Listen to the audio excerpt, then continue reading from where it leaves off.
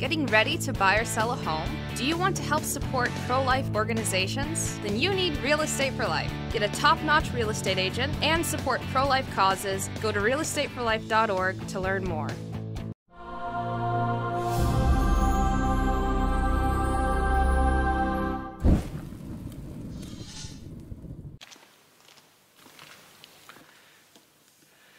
May the holy names of Jesus, Mary, and Joseph be blessed now and forever in the name of the Father, and of the Son, and of the Holy Spirit.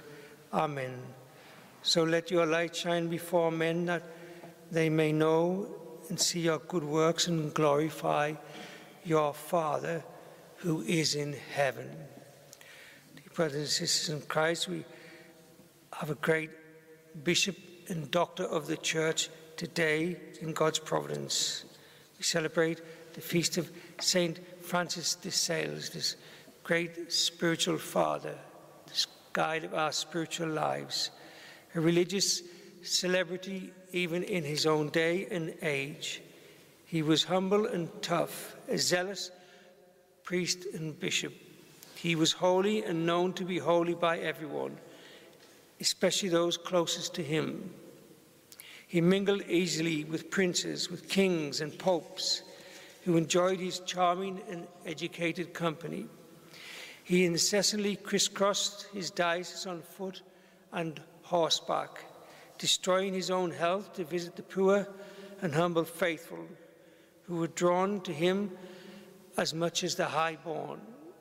He embodied to the fullest that extraordinary pastoral and intellectual zeal characteristics of great saints which makes one wonder if he ever rested for a moment or slept a single night. This great saint, Dedaden, was born in 1567 and lived most of his life in what is today southeast France. His father ensured that he received an excellent education from a young age, and his son excelled then in every subject. His intellectual gifts, his holiness, and engaging personality made him almost inevitably an ideal candidate for the priesthood and eventually the episcopacy. He was duly appointed the Bishop of Geneva, a generation after the famous, the infamous John Calvin, a former future priest, had turned that deeply Catholic city into a Protestant Rome leaving St. Francis as Bishop of Geneva in little but name only. Shortly after becoming bishop then, St. Francis de Sales met St. Jane, St. Jane Francis de Chantal, a widow. Between the two saints, there grew this beautiful, deep spiritual friendship. St. Francis then became the spiritual director of Jane Francis, and with her he founded in 1610 the religious order of the nuns known as the Order of the Visitation or the Visitandines. In carrying out his mystery then, St. Francis, his weapon, his weapon of choice for conversion of souls was the pen. His apologetic and spiritual works brought back tens of thousands of lapsed Catholics to the faith after they had dabbled, dabbled in this Calvinism. St. Francis' works were so profound, original, and creative, and his love of God so straightforward and understandable that he would be declared a doctor of the church in 1877. In his well and most known famous book, Introduction, Introduction to the Devout Life, he addressed himself to people who live in towns, within families, or in a court. His wise spiritual advice encouraged the faithful to seek perfection in the mechanic shop and in the soldier's regiment. God's will was to be found everywhere, not just in the monasteries and the convents. Most arduous pastoral trips through the mountains of his native region eventually wore this great saint out. He never insisted on preferential treatment despite his status. He slept and ate and traveled as a common man would. When he lay dying, mute, after a terrible stroke, a nun asked him if he had any words of wisdom to impart, his last words. He asked for some paper and wrote three words on it humility, humility, humility. St. Francis then is buried in a beautiful bronze sepulchre displaying his likeness in the Visitation Basilica and Convent in Annecy in France. He was especially then, today, what we can learn from him, esteemed for his magnificent and heroic meekness. Meekness. In the world today, many view this solid virtue as weakness, even as some form of effeminacy. But we have to shout from the rooftops that this meekness is not weakness, for meekness, if it be the real thing, is strength, the strength of a lion, like Christ. According to truth, himself, Jesus Christ, those who will possess the land will not be the mighty conquerors, but the meek. Meekness is not cowardice, human respect, or timidness. It does not oppose zeal, fortitude, or any other virtue. Rather, it strengthens them. True meekness is part of the virtue of temperance, and it opposes the vice of anger. Interestingly, both St. Francis de Sales and St. Vincent de Paul were known for their gentleness, mildness, patience, and meekness. They both had a fiery temper and were easily provoked to anger. These they conquered by the manly practice of virtue.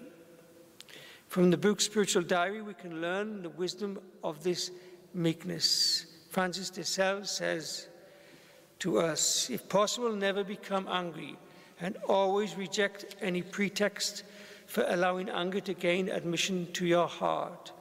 For once it has entered, you will no longer be able to banish it when you desire or moderate it.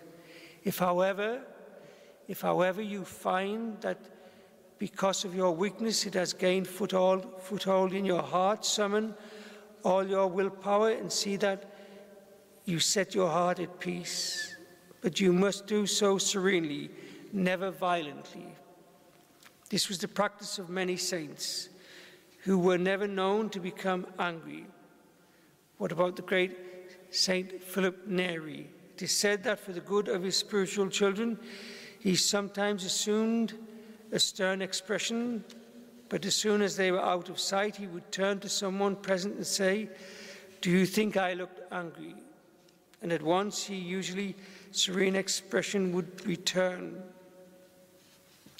The means of overcoming anger are these are good spiritual maxims for us to learn.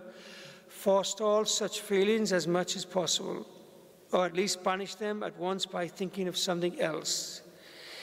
In imitation of the apostles, when the storm arose on the sea, have recourse to God, who will restore peace to your heart. While you are boiling in your passions, do not talk or offer any opposition concerning the point in question. Strive to be humble and courteous towards the person with whom you feel angry, especially if he has shown resentment in any way. Great Saint of today continues a very essential means of acquiring meekness of heart is to form the habit of doing everything and saying everything, important or unimportant, calmly and without haste. Act in this manner in times of tranquility, and thus you will accustom your heart to gentleness. Francis himself practiced this advice with excellent manner, for he was never known to act hastily. To oh, someone who asked him the reason his he replied, You ask me how I can remain calm and not become upset when those around me are all bustling about. What can I say to you? I did not come into the world to agitate it. It is sufficiently agitated already. He says also, Be assured that all disturbing, upsetting thoughts do not come from the Lord, who is the Prince of Peace. They come either from the devil or from our own self love, or from the high opinion we obtain, we entertain of ourselves. There are the three fonts of all our troubles. When such thoughts come into our mind, we should banish them immediately and pay no attention to them. This is the reason why Francis himself was never disturbed or upset. He paid no attention to the temptations of the devil, was always the swan who was who always a sworn enemy of self-love and was humble of heart. He says also, humble goodness is the virtue of virtues. Verily highly recommended by our Lord, hence we should practice it always and everywhere. Evil must be avoided, but calmly. Good must be done, but always with serenity. Follow this rule that you that which you can seen can be done in charity. Do what cannot be done without dispute. Do not do. In other words, peace and tranquility of soul must always take preference over all our actions. Of St. Francis de Sales, then, we read that he enjoyed this magnificent, unperturbed peace of heart. He himself said one day, What can possibly disturb our peace? Even if the world should turn upside down, like what we have today, I would not become disturbed. Of what value is the world in comparison to the peace of heart? Thus he acted whenever the occasions presented themselves. So we ask today, then, the Mother of Meekness itself, the Blessed Virgin Mary, to possess this wonderful gift of meekness to conquer all hearts for the kingdom of Jesus Christ, our Saviour. Amen. May the holy names of Jesus, Mary, and Joseph be blessed now and forever. In the name of the Father, and the Son, and the Holy Spirit. Amen.